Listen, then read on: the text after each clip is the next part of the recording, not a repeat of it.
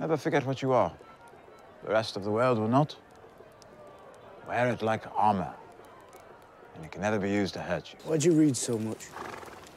Well, my brother has his sword, and I have my mind. And a mind needs books like a sword needs a whetstone.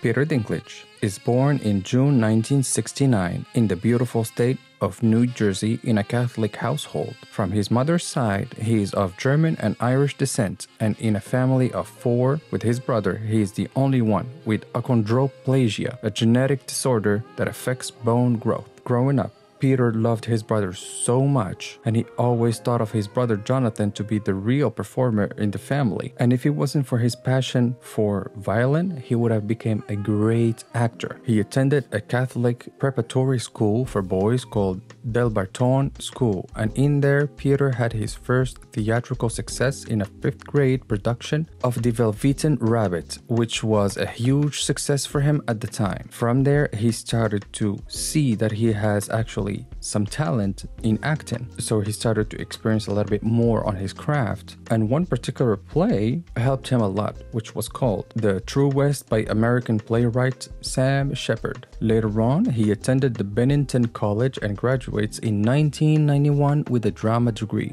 Dinklage's face was injured in the early 90s when he was in a punk funk rap band called Whizzy. It gave him a scar that runs from his neck to his eyebrows. He was playing at the nightclub CBGB in New York City, where he was accidentally kneed in the face and started to bleed on the stage.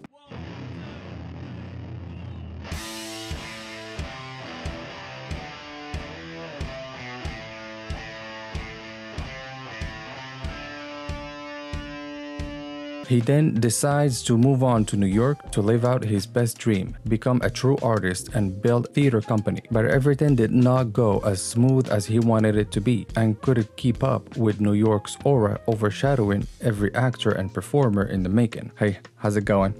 Guccino here. Just making you like and subscribe, comment down below. I will greatly appreciate it, my G. Hope you're excited for the story. Let's go!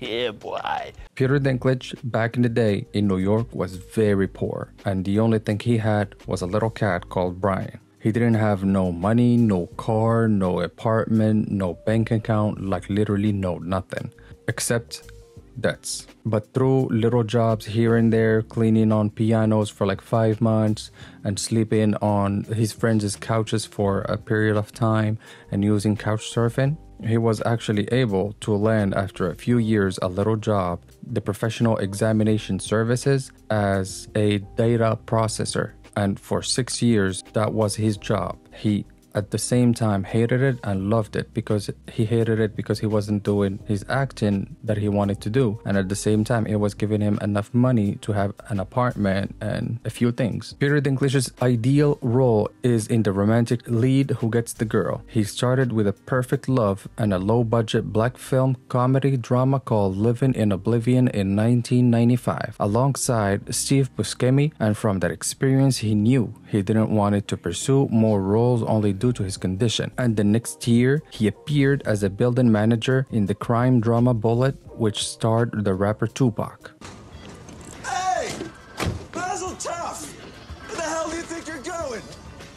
Get your ass back up that ladder and finish the job! Hey, Tom Tom, listen.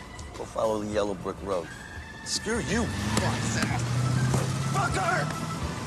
Fuck you, Wise! And even with his recent efforts, he still didn't have an agent. But after some recommendations, especially from his friend Buscemi, he was able to actually land a movie called 13 Moons in 2002. Then in 2003, he plays Finbar McBride in The Station Agent by Tom McCarthy. And with that, he had a huge success. He earned more than $8 million in the box office versus a small budget. And this got him a new fame where he earned an Independent Spirit Award, a Screen Actors Guild Award for Best Actor nominations. Still in the same year, he starred in several off Broadway productions such as Richard III and the Christmas comedy film Elf with Will Ferrell. I get more action in a week than you've had your entire life. I've got houses in LA, Paris, and Vail. Oh. Each one of them with a 70 inch plasma screen. So I suggest you wipe that stupid smile off your face before I come over there and smack it off. You feeling strong, my friend? Call me Elf one more time. and he appears in Tiptoes with Matthew McConaughey and Gary Oldman. And according to Dinklage, the original cut to Tiptoes was gorgeous, but after firing the director, the film was recut into a rom com with dwarves. In 2005, he stars in Threshold, The Baxter, and he made an appearance in the adventure comedy drama Lassie as a traveling circus performer. Later on, he goes on to be in Find Me Guilty with Vin Diesel in 2006, where he plays the lead defense attorney. And all of the reviews says that he is concise and very professional. And still in the same year, he appears in Nip Tuck, then in an episode of the HBO series Entourage, which I love very much, followed by a role in the NBC's 30 Rock and the British romantic comedy called Penelope, then The Underdog, and at the same time, something wonderful happens in the life of Peter Dinklage. He actually gets married to Erica Schmidt in 2007, and they both have two beautiful children. All that led him to a famous role in Death at a Funeral in 2007 and a remake of this one in 2010 with Martin Lawrence, Chris Rock, Tracy Morgan, Zoe Saldana, Danny Glover, and many more.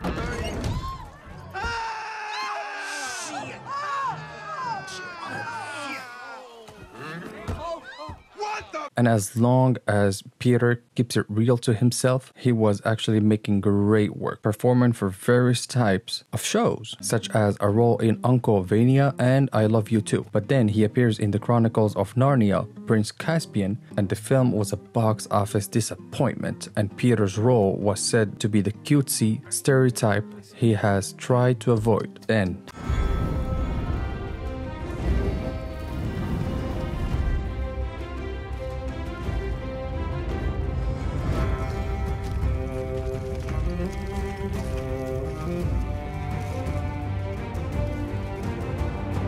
Peter Dinklage accesses his biggest role ever. He portrays Tyrion Lannister in HBO's fantasy drama Game of Thrones in between 2011 and 2019. Tyrion is a member of House Lannister, one of the wealthiest and most powerful families in Westeros, and uses his status to strategize and leads the impact of the marginalization and derision he had received all of his life. This damn show has made my life is so great and ruined me in so many ways. You're a clever man. But you're not half as clever as you think you are. Mm. Still makes me more clever than you. When I first heard they were interested in me for a fantasy show, I went, Ugh, no. Especially being my size, and I'm not really interested in portraying a fantasy of a person. I'm an actor. I like to portray real people.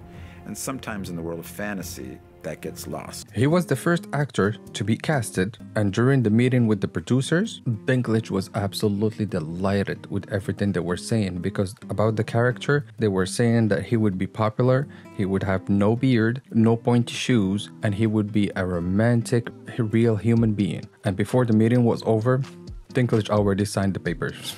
and from all of his excellent performances in the show, he gets a wide spread of critics from various sources such as the um, Los Angeles Times, saying, and I quote, In many ways, Game of Thrones belongs to Dinklage. And for all of his performances, he went on to win an Emmy Award for Outstanding Supporting Actor in a drama series in 2011, 2015, 2018, and 2019. And in 2014, Dinklage and four of his Game of Thrones co stars became the highest paid actors in television, with many millions to spend over the last seasons. Sometimes in the world of fantasy, that gets lost. This was the opposite because of the relationships between these characters, because of who Tyrion is, how flesh and blood he is. It's the most realistic show that I've ever done that also happens to have dragons and dead people walking around. And in 2015, he lends his voice to Tyrion Lannister in the game of Game of Thrones, a Telltale game series. And during those Game of Thrones years, Dinklage wins the award for Best Supporting Actor, Series, Miniseries, or Television Film in 2012. Uh, I was talking to my mother uh, in Jersey before I came out, and, I, and she said, uh, Have fun, but have you seen Mildred Pierce? Guy Pearce is so good, he's gonna win.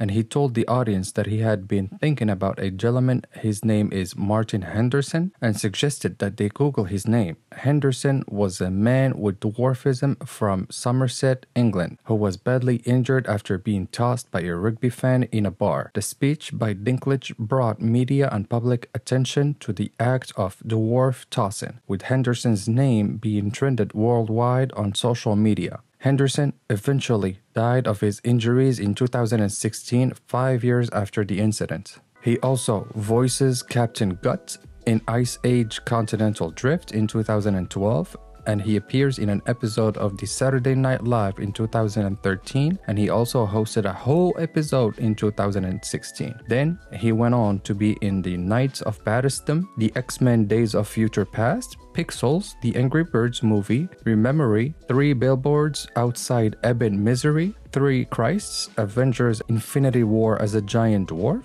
then a film based on actor Hervé Villechaize called My Dinner with Hervé, then Cyrano, I Care a Lot, Transformers Rise of the Beasts, She Came to Me, and The Hunger Games. Peter and his longtime friend and manager David Ginsberg joined Power to actually create a production company called Estuary Films, and they made I Think We're Alone Now. He then buys the rights to the movie The Thicket, and later on, his production company signs a first look deal with the Entertainment One. And in 2022, Dinklage appeared on an episode of the WTF with Marc Maron podcast in which he criticized Disney's portrayal of the Seven Dwarfs in the upcoming live action remake of the 1937 animated film Snow White and the Seven Dwarfs. He stated that Disney tried to be progressive in one way by casting a Latina actress as Snow White, but retained the damaging stereotype of the Seven Dwarfs. In response, Disney issued a statement saying, and I quote,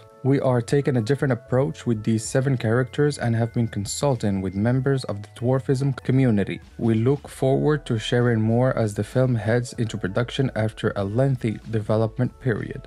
End of quote. In conclusion, I would say that Peter Dinklage is a great human being with full of talents just waiting to be created into reality. From an actor to an advocate for human rights and animal rights, and also advocating for PETA, where he even asks the fans of Game of Thrones to not actually buy new puppies but to go and get some dogs out of shelters. He also attended the Women's March demonstration in 2017 in Utah to advocate for legislations and and policies regarding human rights and many more issues. He is 4 feet and 5 inches tall, but with a sense of humor as big as a mountain. And while growing up, he found himself a bit angry and bitter about his condition. But throughout the years, he made peace with himself and with the whole world. Dinklage has won more than 12 awards from 58 nominations. He has been nominated for 8 Primetime Emmy Awards and 15 Screen Actor Guild Awards, winning 4 Primetime Emmy Awards, 2 Screen Actors Guild Award, and a Golden Globe Award. When I was 29, I told myself the next acting job I get, no matter what it pays, I will from now on, for better or worse, be a working actor. So I quit my position at the Professional Examination Services, and now I didn't have either the internet or a cell phone or a job. But something good happened. I got a low paying theater job in a play called Imperfect Love, which led to a film called 13 Moons with the same writer, which led to other roles, which led to other roles. And I've worked as an actor ever since. I didn't know that would happen. At 29, walking away from data processing, I was terrified. 10 years in a place without heat, six years at a job I felt stuck in. Maybe I was afraid of change. Are you? My parents didn't have much money, but they struggled to send me to the best schools. And one of the most important things they did for me is that once I graduated, I was on my own. Financially, it was my turn. But this made me very hungry. Literally. I couldn't be lazy. Now I'm totally lazy, but back then, I couldn't be. And so at 29, and at very long last, I was in the company of the actors and writers and directors I'd sought out that first year, that first day after school. I was, I am, by their sides. Raise the rest of your life to meet you. Don't search for defining moments because they will never come. The moments that define you have already happened, and they will already happen again. This was the story of Peter Dinklage. Thank you for staying until the end of this documentary video, guys. I hope you liked the content of the video, where we talked a lot about Mr. Peter right here. And throughout all of his story, discovering that if you actually follow your dreams with a passion, it might lead you to somewhere and you can see that everything will work out at the end. If you're still watching, comment thrones down below in the comment section. And don't forget to hit that like button, subscribe, hit that notification bell. That way you know exactly when my next video is up, guys. That was it for me, and I'll see you next time for another banging video. See ya!